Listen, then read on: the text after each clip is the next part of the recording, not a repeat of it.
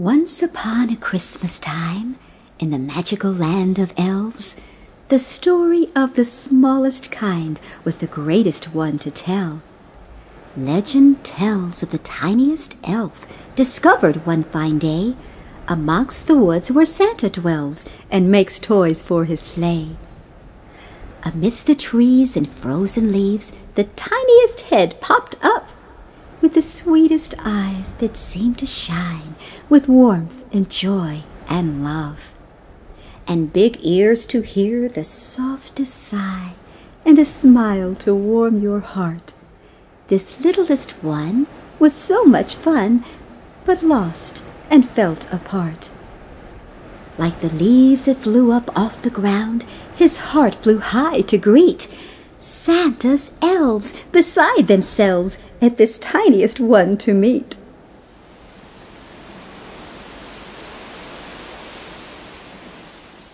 Hello there, little tyke who hikes upon St. Nick's fair land.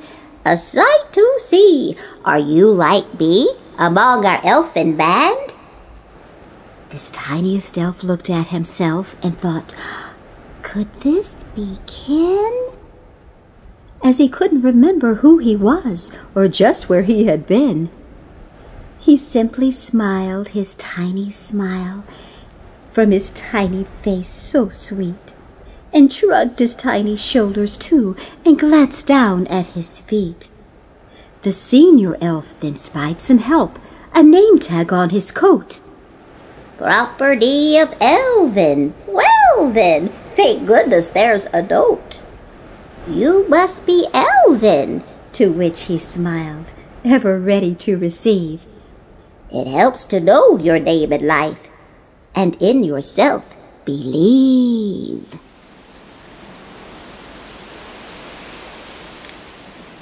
So the elfin band took Elvin's hand and decided to take him home to Santa's shop, a happy hop for elves that often roam.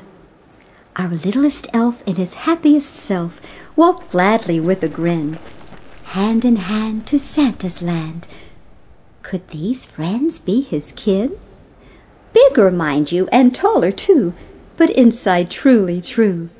And though Elvin often stumbled, they helped one step grow to two.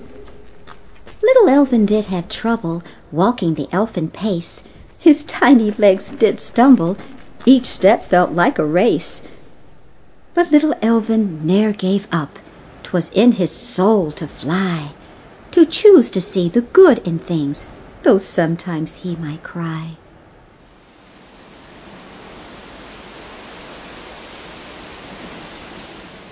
Something deep inside him said, Your journey's just begun. Believe that your elf purpose will find you, little one. When these jolly elves reached Santa's porch, they were met there at the door, as always, by dear Mrs. Claus, hot cocoa, warmth, and more. My goodness, faithful elfin friends, what did you find this time?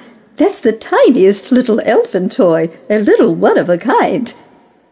Little Elvin bowed his little head and felt the softest hand pat his tiniest elfin cheek 'Twas Mrs. Claus so grand. Oh my, you're not a toy at all. You're real, you tiniest elf. It's your sweet spirit in your eyes that reveals your biggest self.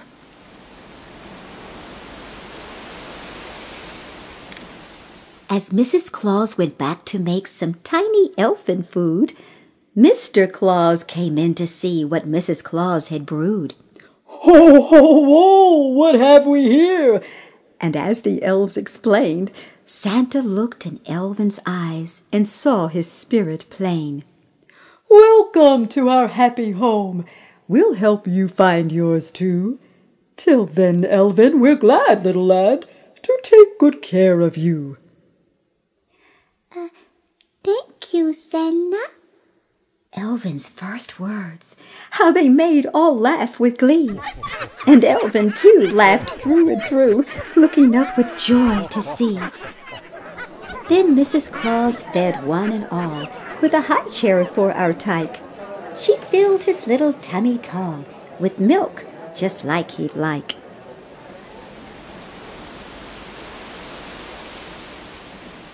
Little Elvin drank quick and licked the last lick with a delicious and thank you. All around him had chuckles surround them as his milk mustache grew and grew. They then took Elvin to the tip tip toppest of the attic where the elves slept best.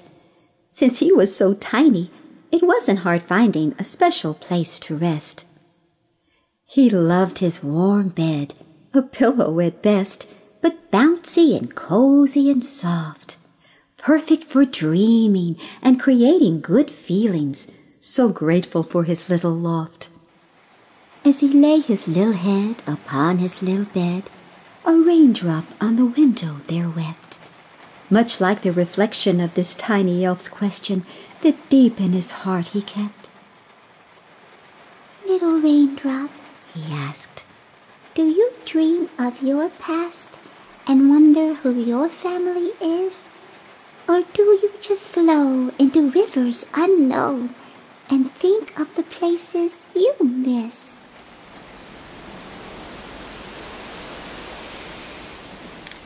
I dream as well, in reflections I dwell.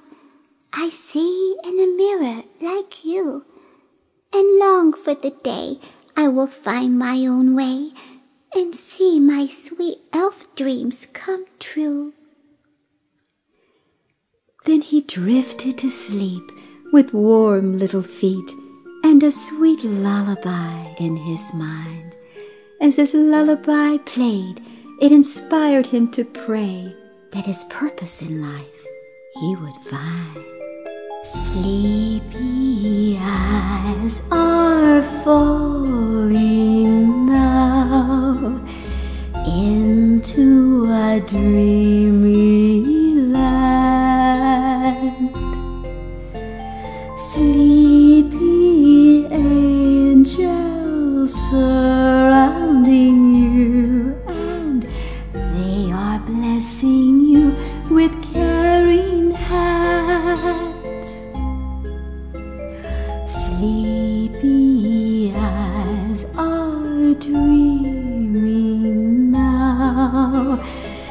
hearing sweet loving sounds,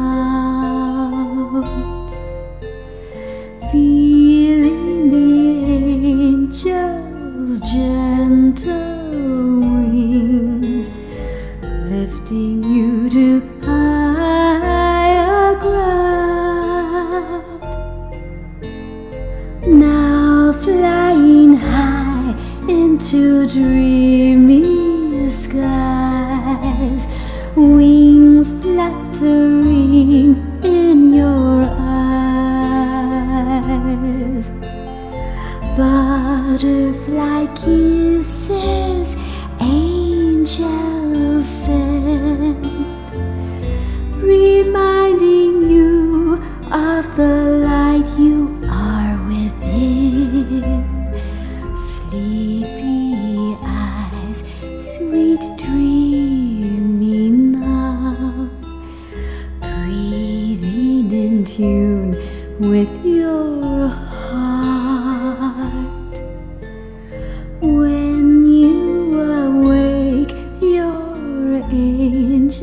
angels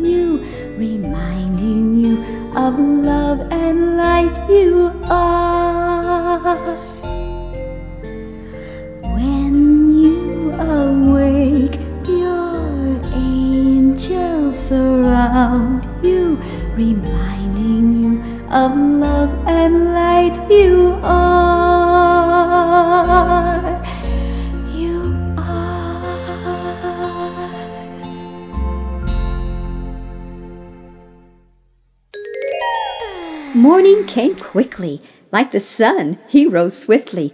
Enchanted, he found this new day. And Elvin kept listening, each thought inside glistening.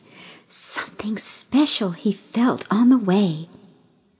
He wished to help more with all the elf chores, but could not reach the toys on the shelves. Still he would pray that maybe some day he could help like the rest of the elves. Yet one gift that he had made all the rest glad. They loved it when Elvin would read. He read very well, which made his heart swell, for to him 'twas the happiest deed.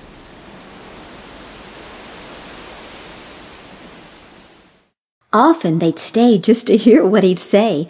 As he read in fun voices, they'd laugh. Then he felt not so small, in fact, kind of tall, as tall as the tallest giraffe.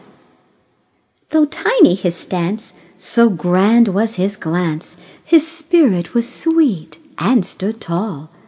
For he knew how to choose the way no one could lose. He knew to choose love over all. He felt deep inside, where deepest thoughts hide, he'd discover his reason to be. He prayed for the day, with joy he could play, the day that his soul could fly free. Since his ears were quite large, each sound touched his heart. He was blessed he could hear more than most. He listened to others and named them all brothers, which made him the kindest of hosts. Though he wished to be more and help open more doors, he felt way too little to fuss. Still he loved and respected himself and expected he could be his own fun, elves or us.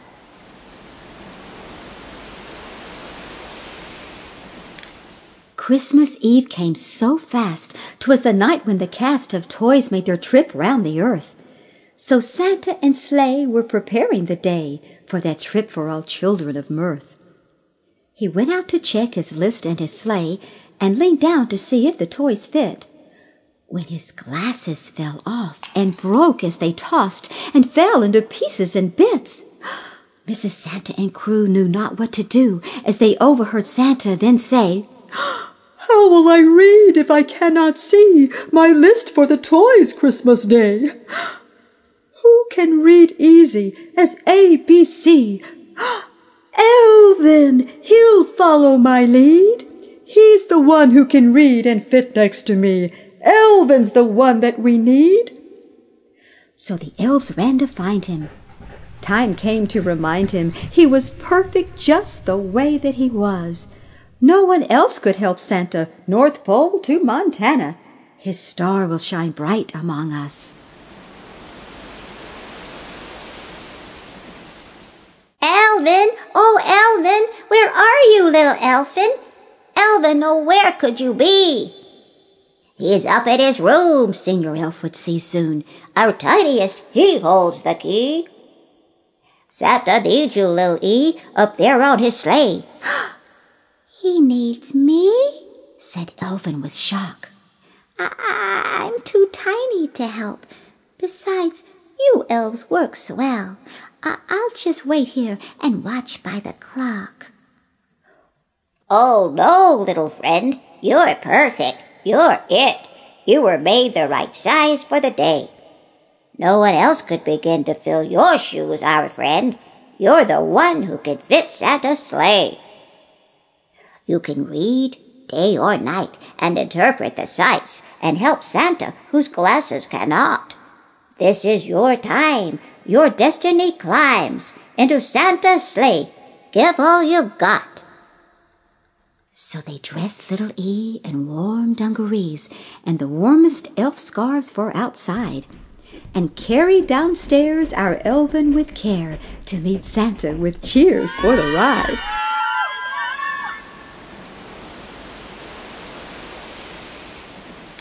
Ho, hooray, ho! beamed Santa with joy as he saw this elfin parade. Elvin, you're helping little girls and boys get the Christmas they've dreamed of and prayed. The spirit of Christmas is giving one's wishes, and because you're giving what's you.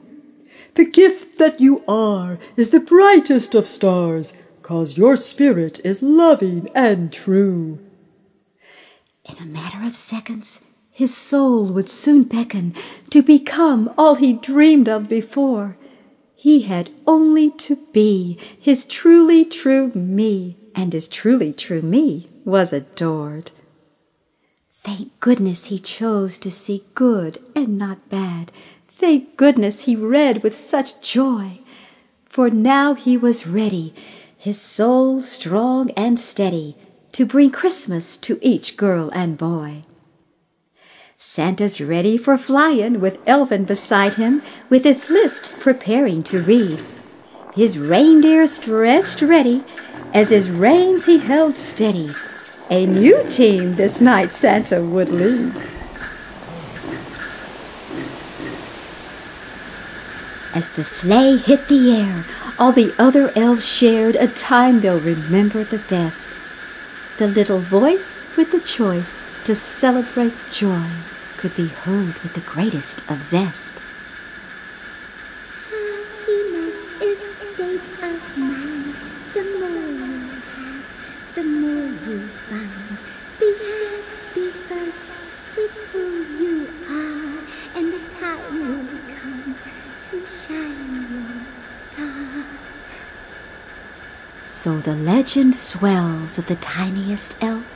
in the tiniest toys from the tiniest shelf who found his joy, his power to pray, the elf that saved Santa's Christmas Day.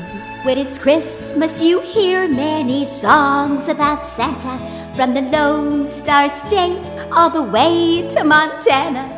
Frosty, Rudolph, and front teeth missing, chipmunk sleigh rides and mommy kissing. It's beginning to look holly jolly, except the elves have been left out, and for that we've wept. Now here is our chance to make history right. We'll sing about Elvin one Christmas Eve night. Couldn't reach the toys on the bottom shelf. But Elvin, the tiniest elf, was loved by one and all. Oh, Elvin, the tiniest tyke, couldn't reach the pedals to ride a bike. But Elvin, the tiniest tyke, always did his best. Though he was the tiniest elf, he read very well and believed in himself, and that's what saved Santa's day when his glasses broke upon the sleigh. How could he read his list of toys for all the good little girls and boys? Elvin said. will fit next to me and read as easy as ABC. Yes, Elvin,